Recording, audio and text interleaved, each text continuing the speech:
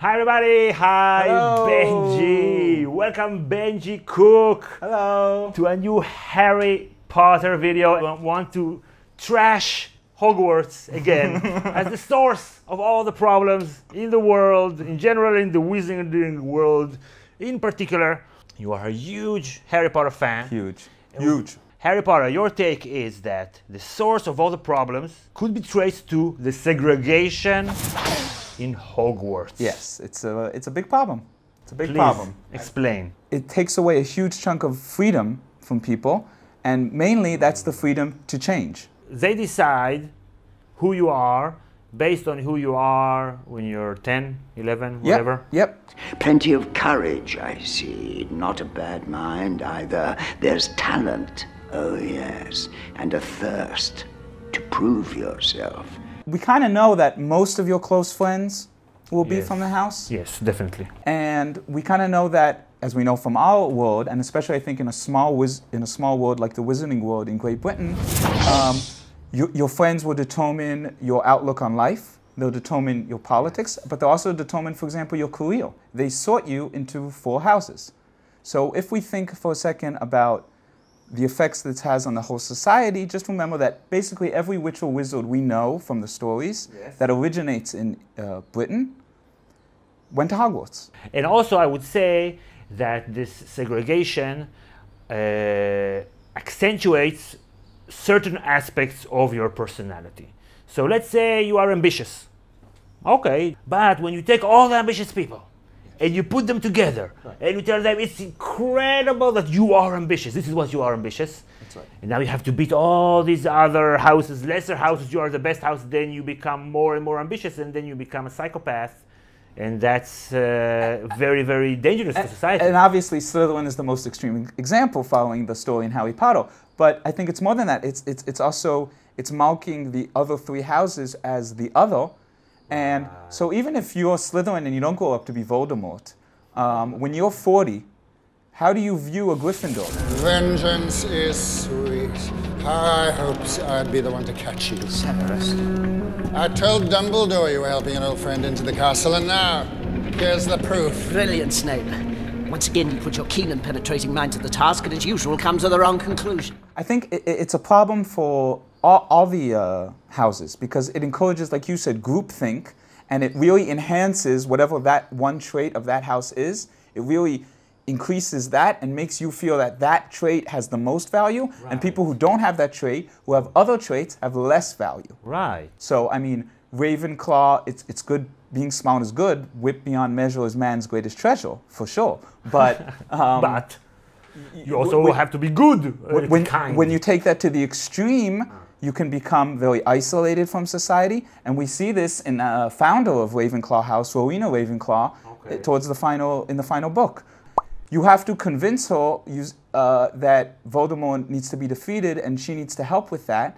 But and it's a really hard sell for Harry and his friends to do that because she's so intelligent, but she's so disconnected from her emotions hmm. because all she's left is intelligence. So you can look either at the founders of the houses or at individual ca- characters that we know from the book, and you can see with Gryffindor, it leads to maybe self righteousness, it leads to maybe carelessness, pride. pride, sure.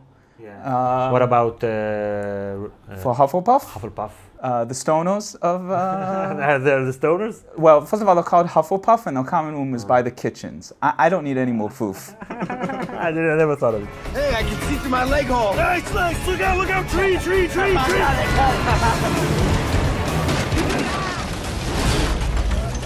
it, it, it's similar to somehow, in a lot of ways, we teach kids science today. We, we split other kids into kids who are good at science inherently and kids who are bad at science or math. And, we, and, we, and it's created these tropes that girls can't do math, for example. Um, so Huff, Hufflepuffs can't do math. We know now that this is not a good Yes, policy, exactly. education policy. Exactly. To tell people you are this. This also goes. So we're talking. We started by by calling it segregation. So we can come cl- edge closer a little bit to Sure. the historical segregation. But we're not there yet. Let's say, okay, there has been this problem in American sports. Let's say basketball. If you're an American white guy, you play basketball, they tell you, okay, I'm generalizing. you're, you- you're supposed to be smart. So you use, your, use those skills. If you're an American black guy, say you're supposed to be athletic, so use those skills. I only have four words for you. White men can't jump. Jackson 15 of his 17 in the second half. Almost stolen. Back to Porzingis.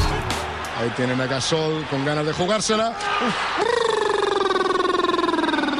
And then you can see that uh, white Europeans, who have the same genetic makeup as white Americans, they don't have this hang up that they can't be athletic or they're supposed to be this or that. Right. In this case, modern society is the sorting hat, um, which, as you say, America and Europe have different sorting hats. Right. You know, this whole process of getting your brain scanned by this machine and having that machine issue a binary answer as to who are you. It's not only intrusive and should be unconstitutional, it's downright violent.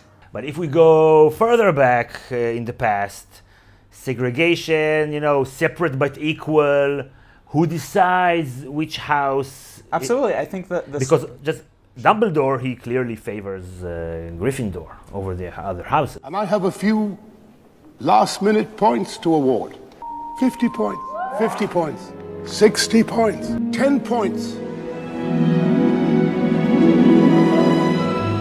It looks to me like a rigged election. Well, first of all, Dumbledore is a Gryffindor. We're going to beat the rig system. Don't attack me if that's wrong. I'm like 99% that's true. He's- it slips out once, but like. That's Mea like culpa. nepotism, nepotism, like you're for your own But it's alumni. but, but but I think you're pointing exactly at the problem. He can't help it. He's a Gryffindor. He was raised that way too. He's not immune to to, to that. How could you have gone through this experience and not feel that way towards the Gryffindor students? like like all the high level politicians and leaders in this society have their minds uh, uh, uh, uh, constructed their thoughts thought process constructed in such a way that they have to look at their society as divided from the get-go That's right. so harry he had a, had a decision to make Where to put you? Not Slytherin. Not Slytherin. Slytherin will help you on the way to greatness. There's no doubt about that. No? Well, if you're sure, better be Gryffindor! so it's like on a spectrum right you're not this or that A- right, absolutely. We we know from Harry's experience with the Sorting Hat that he was given a choice, and we also hear later in the books about Hermione. Uh, she she hints that she was also given a choice. to ravenclaw right to, for, for Ravenclaw. But in the books, there's this inner monologue that only Harry hears, and we're seeing the, the movie from Harry Potter's view. But maybe everyone goes through this in type of inner monologue. That's always how I felt about it. Okay, so let's say five years later, Harry wants wants to be more Slytherin Yes. or something like that. He can't change his mind. So the decision that he made at that very point is what determined his his entire life. It's, it's even worse than that. Chamber of Secrets, if you look at, at, that, at the second book, is Harry trying to reconcile his Slytherin sides. Now, because of magic and Voldemort and all that, he has Slytherin sides, but it's really a way to, to showcase exactly what you're saying. He feels guilt that he has these Slytherin feelings. Right. Now the whole school's gonna think you're his great great great grandson or something. But I'm not. That creates emotional burden that- Yes, It can't be. On young children, Totally. impressionable children. absolutely. It's, No, don't send your crazy. kids there. I mean, you, you're going to spend most of your time there as a young adult in the wizarding world. You can't escape. I mean, if you hate Hogwarts, No. you have a real problem. You can be a bum on the street Yep. or something. You won't have a job, nothing. Yep, Yep. We're here in Israel.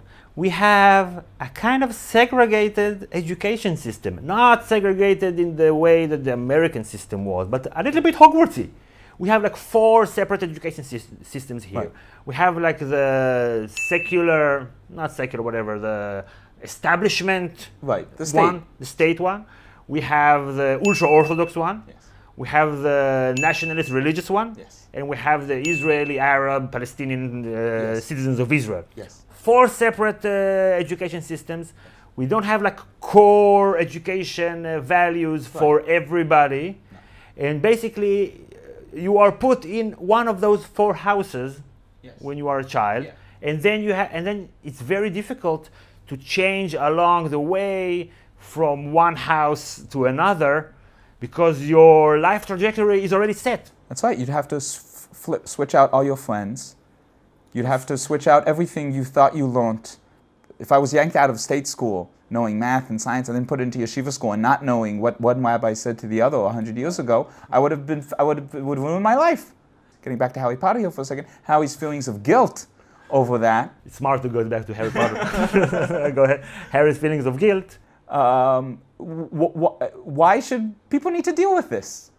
Right. And maybe he could have gotten along with Malfoy if if there weren't these houses. Like basically you're taking uh, uh, a desire for excellence and by putting them all together and, and, and accentuating that, basically you're radicalizing them and making them into racists and bigots. Absolutely. There are a lot of ways to do this. First of all, what happens if you sort every year? Boom. Boom. What do you think? Very good. Right? If, if people will flip, they'll, people won't flip. There'll be a natural move of things. I, I don't want to disinherit, but. But maybe you will want to stay with your friends. Also, just just a, a, point for earlier, if we take it like to the most mundane stuff. So, yeah. I used to play all the time basketball three, four times a week, right. and every time you play with different people on different on, on different teams. And then for some time, people wanted to try the same teams for a long time, what, and you could and see happened? the animosity growing between go. the teams. And we said, no, we have to we have to break things up because we're not getting along anymore. Yeah. Because we're always competing the same people against the same people. How I started thinking about this issue is that, and I think this is common to everyone who's read Harry Potter or seen the movies, okay. is that you start wondering, hmm, what house would I be in?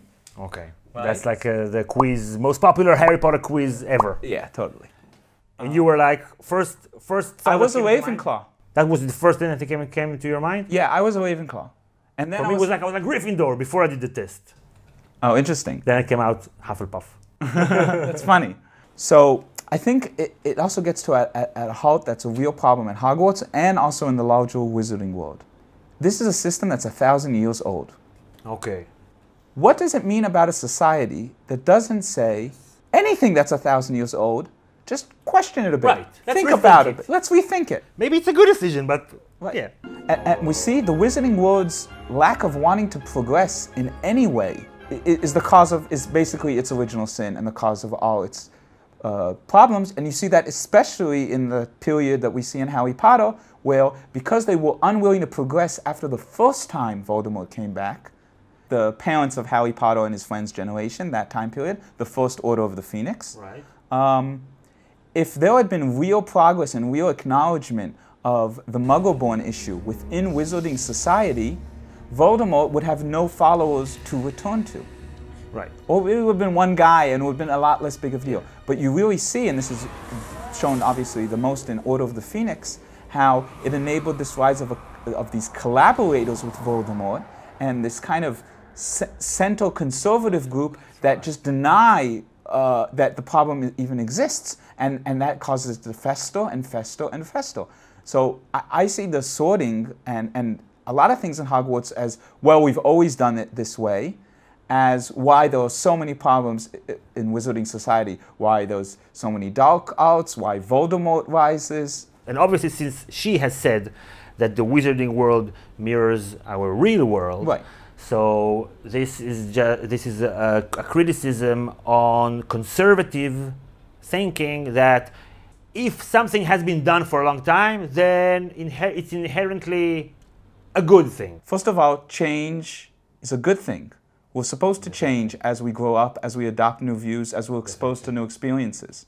If we don't change, we're, we're going back to that problem with this problem of conservatism. Um, you know so uh, like personally just like from collaborating so much on on, on this channel right. all the time collaborating and thinking teamwork teamwork teamwork i find that i am way less competitive than i used to. I'm like w- way less inclined to crush other people in basketball. Interesting interesting. It, it, it's more about enjoying the shared experience together. Exactly. And just win-win. Everybody wins. Right Maybe the world would be that way if there were no Slytherins. so let's just kill all the Slytherins. Or did I just go You too see, far? you see, you Ah! see, you see where it takes us. if after the second uh, death of Voldemort, they are not teaching uh, at Hogwarts uh, what makes a good wizard in a good wizarding community, then they're gonna have this problem again. And I think I'm thinking that they're gonna have this problem again because they want to make plays and write more books and stories, so Sure. they can't resolve the problem. Oh, no, of course, but but it- it- eh, eh. segregation is how they operate not only with human wizards. The goblins are an underclass. Boom. The house elves are slaves. The giants. The centaurs just stay in your forest and don't bother us. right, It's the how they handle problem. every issue. Muggles, That's yeah, over there. Let's just tell them, okay, you married a Muggle, okay, but there's no mixing. That's right. That's why uh, Hermione's uh, foundation for the betterment of elfkind is really the most radical thing in Harry Potter. Because uh, other than maybe the passing of the International Wizardry Act, which is like, okay, we should respect muggles too, um, is kind of in there. Yeah. Uh, it's the most radical thing that's happened in the wizarding world. Right. To, to say that, no, elves are as good as wizards, and we should stop segregating elf kind and wizard kind. And I think what, if, if that kind of civil rights act passes in the wizarding world, let's imagine that Hermione gets it through as Minister of Magic, um, then uh, you would hopefully see that effect happen with goblins and with centaurs and so forth.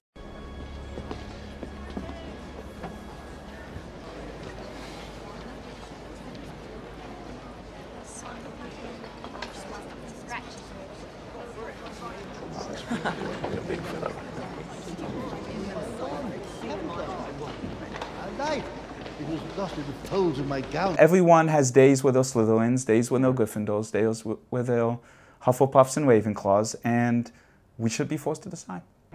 Okay, thank you, Benji. Thanks, I had a good time. We hope you did too. Please mention in the comments.